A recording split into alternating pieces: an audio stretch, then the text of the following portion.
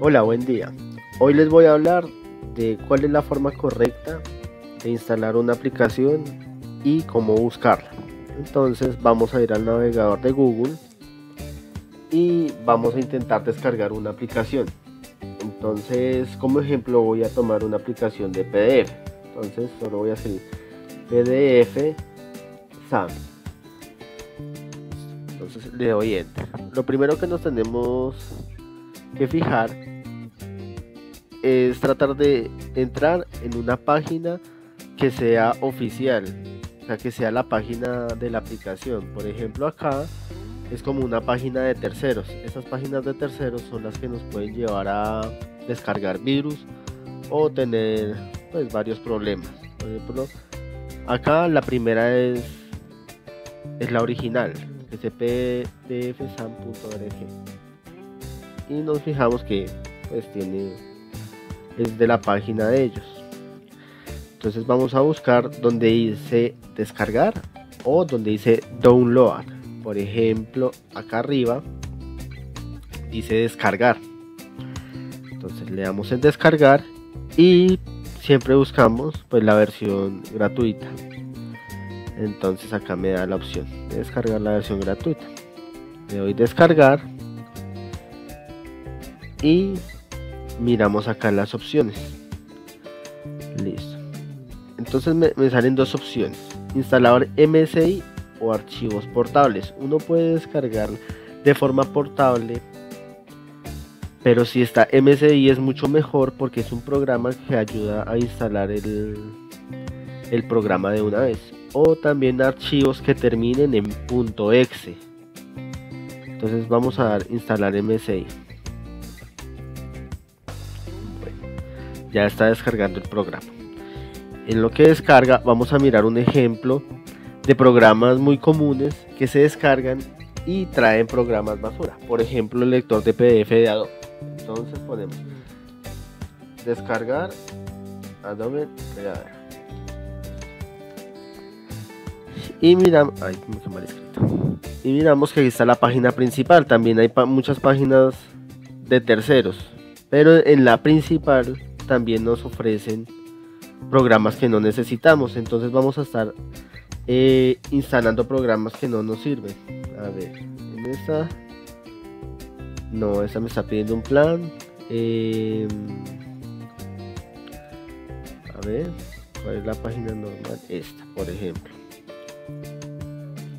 Entonces, cuando yo le doy descargar a Acrobat Reader, él me dice eh, se instala la unidad va a descargar McAfee que es un antivirus. Entonces como esto está seleccionado también va a descargar el antivirus y otro programa que la verdad no necesitamos.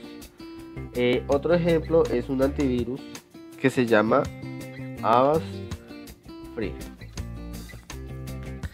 Entonces de hoy en descarga a ver descarga gratis por ejemplo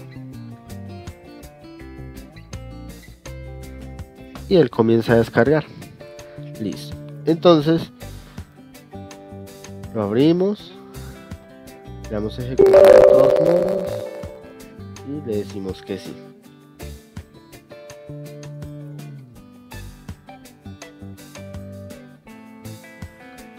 A ver, esperamos. Luego lo vamos a desinstalar en otro video. Esperamos que cargue. Y al momento de dar instalar uno no se fija en las letras pequeñas pero acá está diciendo que instalar un navegador y convertir ese navegador en predeterminado. Entonces cuando yo instalo también me va a instalar un navegador y ya no estoy y ya no podría utilizar Google Chrome como predeterminado sino sería este navegador. Y ahí es cuando uno empieza a tener problemas que ay por qué me salió este programa porque porque ya no es Google Chrome, porque ahora es este Avast no sé qué, porque uno generalmente da siguiente, siguiente, siguiente. Entonces uno tiene que leer muy bien todas estas pestañitas y saber qué es lo que está instalando. Entonces le damos instalar y ya él va instalando. Ahora, volviendo al del ejemplo, le damos en abrir PDF bueno, la vamos a buscar en otra ubicación porque no todas las veces sale en esta, en esta barra. salimos. Para Google Chrome. Entonces podemos ir a donde están los punticos en la parte superior derecha y buscamos descargas. Y en descargas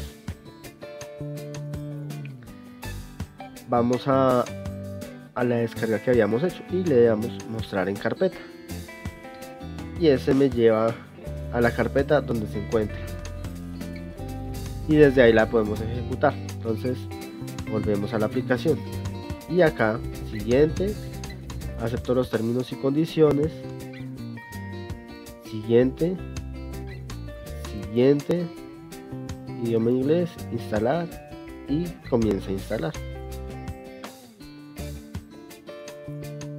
A veces puedo instalar dos programas a la vez, otras veces eh, no permite, por ejemplo acá ya no permitió, ocurrió un, problema con la instalación, bueno. vamos a instalar el, el programa del ejemplo. Listo, entonces vamos a dar iniciar y finalizar.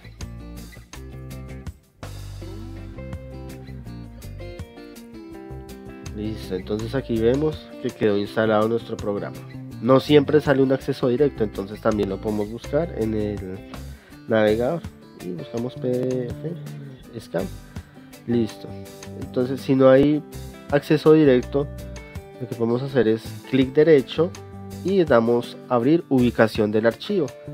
Y en el acceso directo le damos crear acceso directo para el escritorio. No lo voy a crear porque a mí ya me salió ese sería como el derecho para instalar una aplicación y fijarse que esté bien instalada. Y listo. Eso eso es todo por hoy. Muchas gracias